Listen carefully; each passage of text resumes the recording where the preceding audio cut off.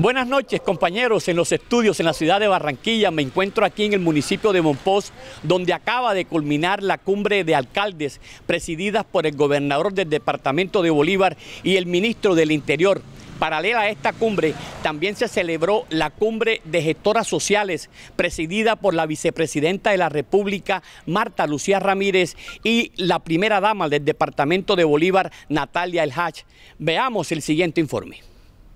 Después de firmado el pacto por la transparencia, los 46 alcaldes, el gobernador de Bolívar y la vicepresidenta de la República acordaron desarrollar las acciones necesarias para implementar la política de integridad, transparencia y legalidad.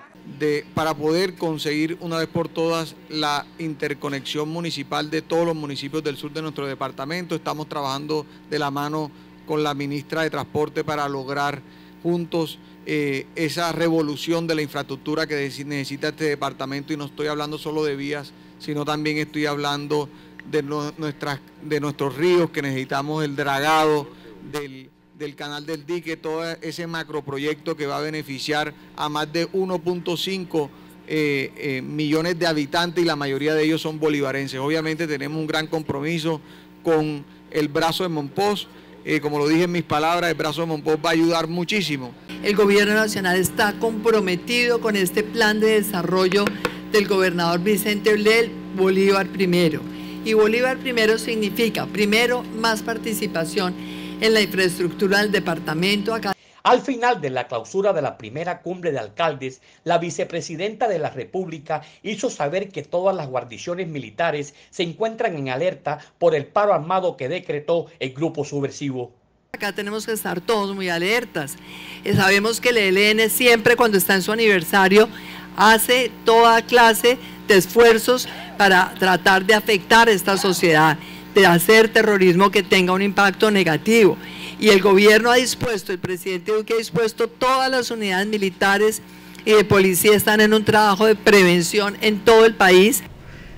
Y también estuvimos dialogando con el alcalde de Santa Rosa del Sur. Él le ha pedido a la ciudadanía tomar muchas precauciones para el día de mañana, donde inicia el paro de 72 horas que ha decretado el ELN en nuestro país.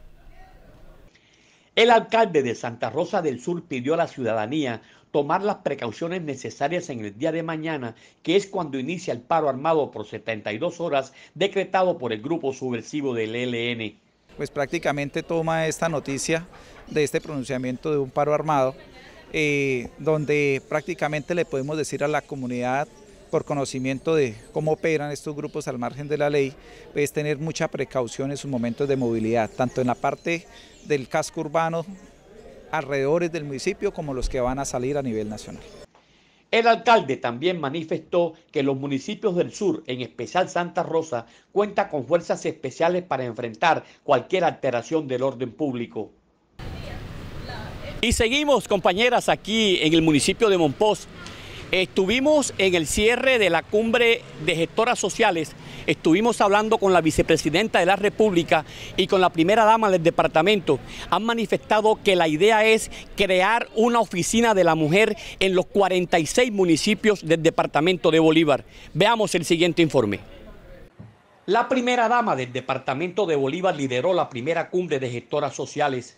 Son 46 los municipios que unirán esfuerzos para enfrentar el acoso y el maltrato sexual, el maltrato infantil y las ayudas que se requieran para el adulto mayor. Para que todas las gestoras sociales estemos trabajando de la mano, para que unamos esfuerzos y que todos los municipios reciban el apoyo de la gobernación de Bolívar, que sea un trabajo mancomunado por nuestros niños, por nuestras mujeres, por nuestros jóvenes y sobre todo por los adultos mayores. La vicepresidenta de la República, Marta Lucía Ramírez, y la primera dama unirán esfuerzos para crear la oficina de la mujer en cada municipio del departamento de Bolívar y la casa de víctimas que se abrirá en la ciudad de Cartagena. La vicepresidencia está tratando de tener una casa por departamentos porque eso supone unos costos, pero son casas donde les vamos a ofrecer asistencia jurídica a las mujeres, asistencia psicológica porque hay muchas que sufren violencia en sus familias, violencia y discriminación en la sociedad. Les vamos a enseñar emprendimiento, les vamos a dar cursos de tecnología para que ellas aprendan también. Compañeros, es toda la información que le tengo desde este hermoso municipio de Monpós, en el centro del departamento de Bolívar, con la cámara de Jason Ochoa. Yo soy Hernando Vega. Sigan ustedes en estudio en la ciudad de Barranquilla. Muy buenas noches.